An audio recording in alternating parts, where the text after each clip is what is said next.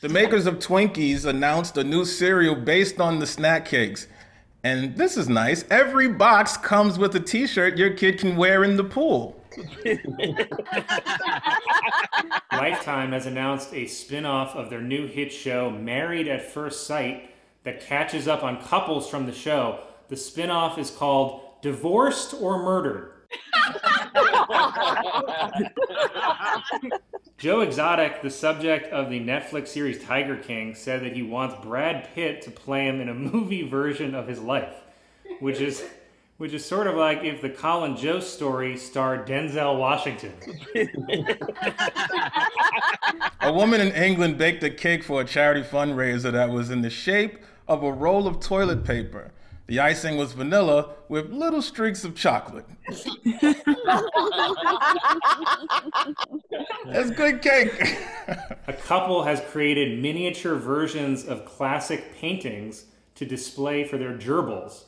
They say the toughest part was getting the paintings to also fit up their ass. what happened to you? A group of clowns who usually entertain retirees in their homes at a senior home in Germany has started performing outside their windows. Even though saying, I see clowns outside my window is how you end up in a home. a male panda at a zoo in Hong Kong has for the first time mated with his female companion of 10 years after she finally agreed to get implants. hey, that's fun. You know, hey guys. By the way, uh, this is really fun. And as you know, Colin, I, I lost my grandmother this week, and uh, coming back to work uh, really made me feel better, especially with you. Oh, thank you. Her favorite part of the show was when we would do joke swap. You have no idea, but I don't know. Maybe would you like to do one right now? wow, that started out so sweet. Yeah, no. Well, I mean, she re- she would have really liked it. so I I sent I had Pete uh, send you a joke and your email if you could just open up and read it. this is my laptop that I just received the email on.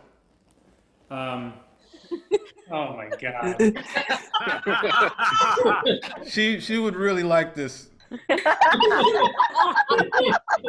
yeah, she would like okay, great. Well, for her then I'll say this. Great. Two professors at the University of Oklahoma have been cited for using the N-word in class. Mm. In their defense, the students were being pretty lazy.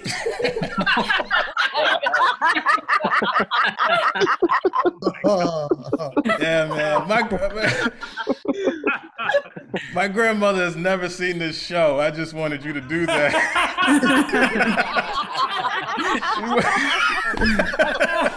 she woke up at like 4 a.m., dude, to pray. You think she was watching Saturday Night Live? Never. But I really appreciate it. That made this night perfect, man. Thank you. Oh, man, for Weekend Update, I'm Martha's grandbaby. I'm Colin Jost. Good night.